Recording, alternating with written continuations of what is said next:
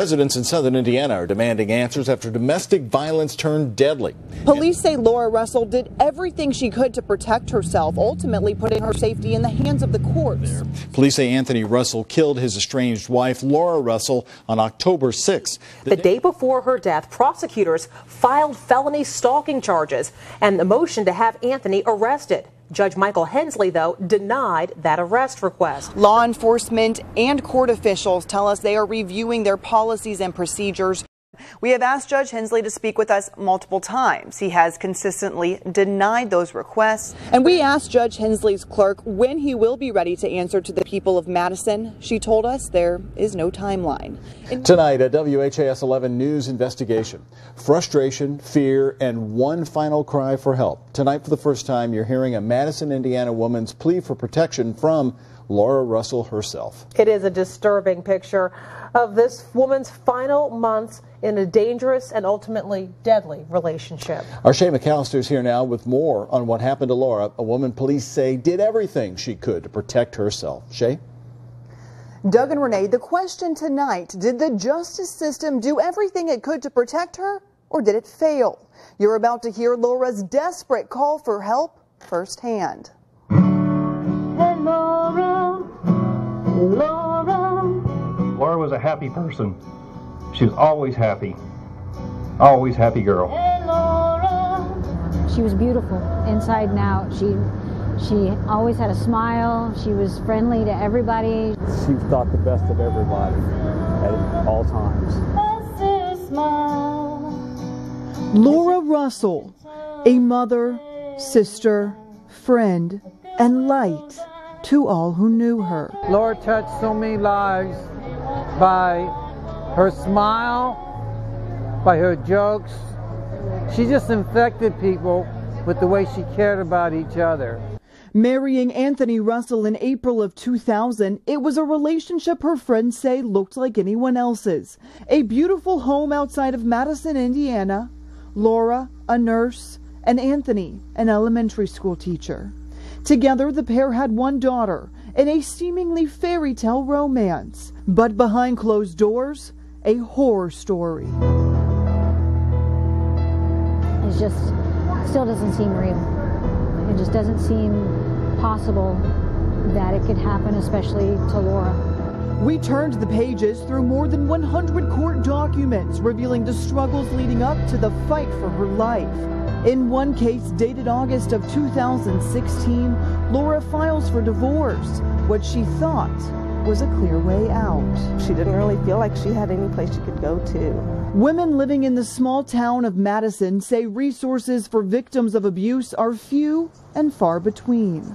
So Laura turned to police. You can hear the panic in her voice during this 911 call made on August 20th.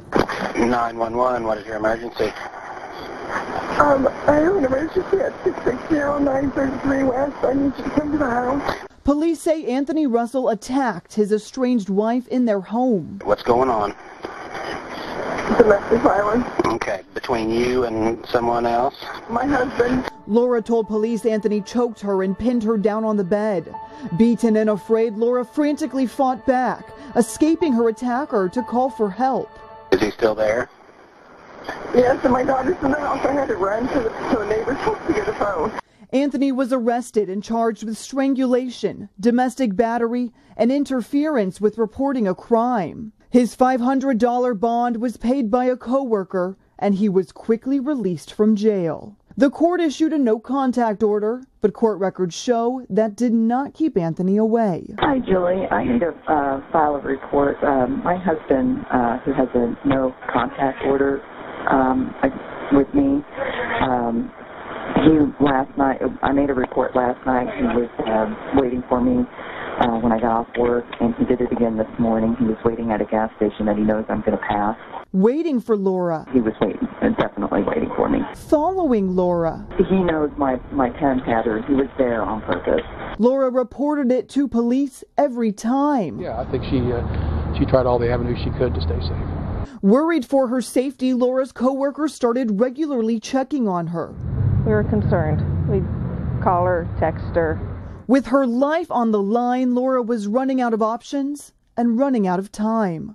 She went to the Jefferson County, Indiana prosecutor who filed felony stalking charges and a motion to have Anthony Russell arrested. Judge Michael Hensley denied that motion, later saying there was not enough evidence to make an arrest. In Indiana, stalking is defined as a knowing, repeated, or continuing harassment of another person. Court documents reveal Laura reported Anthony Russell violated the protective order five times. Five times. Laura never had the chance to report a sixth.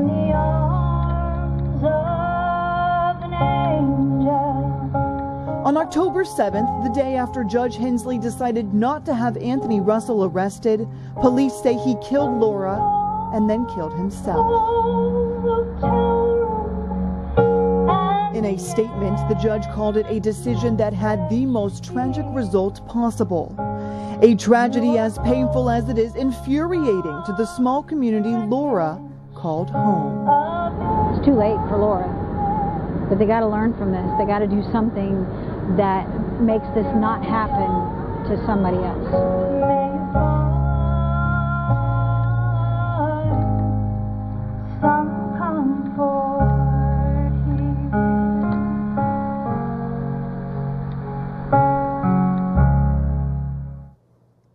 A family destroyed, a community broken. Some believe this could have all been prevented by a judge's decision. It took us weeks, but we tracked that judge down. My name's Shay McAlister with WHAS 11 News. Hi, nice to meet you. Hi, hi. Can I ask you a few questions? His response when we finally get him on camera is next. And tonight here at 11, the WHAS 11 News I team is investigating the tragic story of domestic violence turned deadly in southern Indiana. And right now we continue Laura's Law with more on Laura's story and what steps are being taken to ensure it's not one story that's told again. Here again is WHAS 11 Shay McAlister.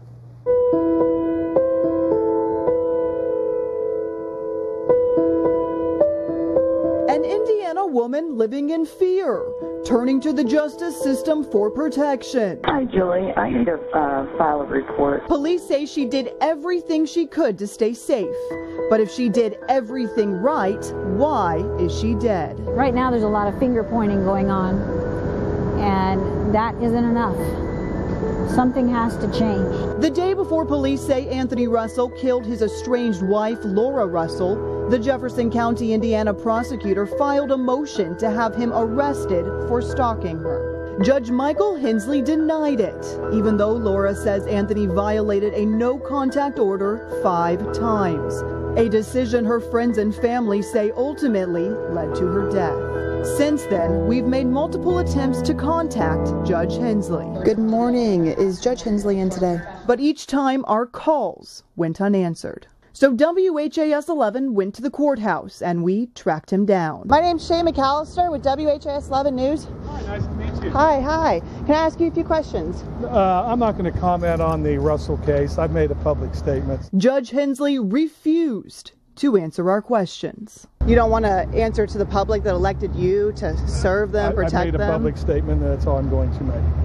Okay, well, we're just wondering Thanks why didn't you sign the warrant to have him arrested? Thanks a lot for your service. Uh, I respect the press and the reason uh, the communities need to know, and um, but I've made my public statement. That's all I'm going to make. Do you think if you had made a different decision, Laura Russell might be alive today? I've made my public statement. That's all I'm going to make.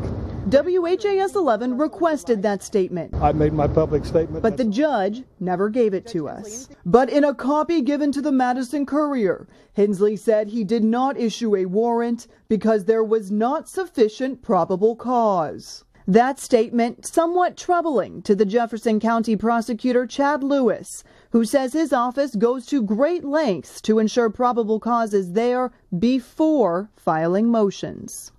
Look at the facts and the evidence and make a decision. Uh, in this particular case, we believe there was probable cause, um, and that's why we filed the charges we did and sought the arrest warrant.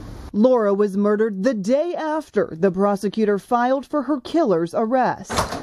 The judge said in the future he would issue a hearing for the arrest warrant the same day it is requested. But Laura's friends and family say that's not enough. Laura was a wonderful person, and none of us want her death to have been in vain for nothing.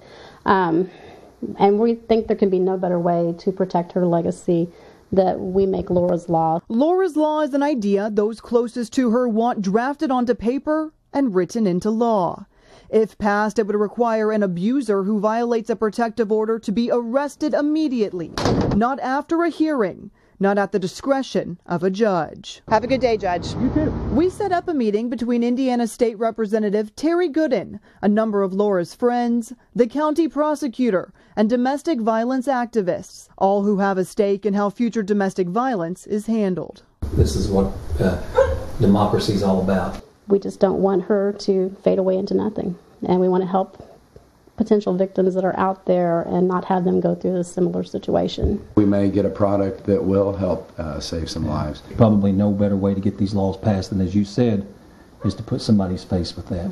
With their words now on paper, Goodin says the process won't be simple, but promises to draft the beginnings of this legislation. Hey Laura, hey Laura. Because even though it's too late to save Laura, the world lost a good person. Lost a really good person. It isn't too late to protect others. The hope is Laura will be remembered, not as a victim, but as the woman who helped save countless others by strengthening a weak Indiana law to protect others from suffering the same tragic fate.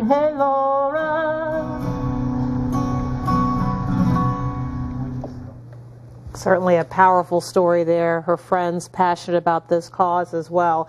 You've been working on this story for quite some time. So, what made people so passionate about getting the, to the bottom of this case and, and getting answers? Well, Doug and Renee, the bottom line here is police said that she did everything right. They said that there was absolutely nothing else she could have done to protect herself. And for that, people want answers. They want to know what are we doing moving forward to make sure that this does not happen again.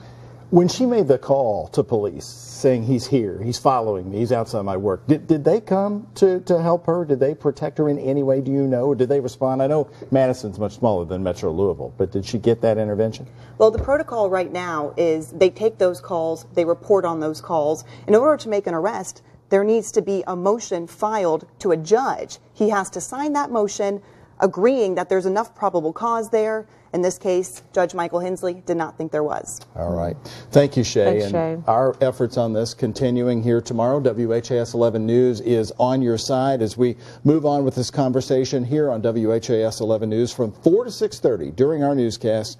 We're going to be hosting a domestic violence phone bank in our studios with the experts right on hand. We are here to help you. So when you call in, people will be able to answer your questions and help you find resources if you're in the middle of crisis right now. We'll have a special number for you to call coming up tomorrow. Doug, well, the reason we're all here today and the reason we were reporting yesterday is because of Laura Russell and the idea to create Laura's Law. What it would do is when an abuser violates any kind of protective order, no contact order, restraining order, they are arrested that day. They are arrested immediately. It's not left to the discretion of a judge. Um, now, a lot of Laura's friends and family, family, unfortunately, asking what more could have been done in this situation. What should they have been doing? And we have Tamara here from the Center for Women and Families. Tamara, what can relatives do when they're not they're not sure where to turn, they're not sure what to say in a situation of abuse? Right. I think the most important thing is to just make sure that you stay connected to that person. I'm here to file House Bill 1518, which is Laura's Law. House Bill 1518. Only a number on a piece of paper, but the meaning is so much deeper. It's protection for those who can no longer protect themselves. It's a change to a system that is full of faults. It's officially known as Laura's Law. When you add a name to a law, that makes it that much more personal. Police say Laura Russell did everything she could to stay safe, turning to the justice system for protection when her relationship turned violent. Her estranged husband Anthony violated a no contact order five times before Laura asked for help again. The county prosecutor filed a motion to have Anthony arrested for stalking Laura, but the superior judge denied that motion. The next day, Laura was dead. We're all human. And uh, so, as we move forward, we all make mistakes. Not saying that there was a mistake made in this one, but uh, this just gives a second chance to look it over. After Laura was murdered, the judge apologized. But for those who loved Laura most, that wasn't good enough. So they started fighting for Laura's Law. Tuesday morning, the bill was filed. It toughens the penalties on those folks who break protective orders. And if someone is on bail and they break a protective order, then that individual is arrested and put immediately back in jail. Goodin says that section alone could have saved Laura's life, but it isn't the only one. Another part of the bill details an opportunity for the prosecutor to request an emergency meeting with the judge if the judge denies a motion. This will give the judge the opportunity and the prosecutor the opportunity to sit down and drill into the case just a little bit deeper. It all starts here in the Indiana State House, the beginnings of a law that could eventually save lives, a law those back in Madison say is desperately needed. I'm hoping that what we've started today will be able to help victims in the future and not have them go through what Laura went through. For Laura's friends, the bill is bittersweet. I think that she would be happy for future victims and for people that will benefit from this law. I don't think she wants anyone to go through what she had to go through. A somber reminder of their beautiful friend, but a token of promise for future victims of domestic violence.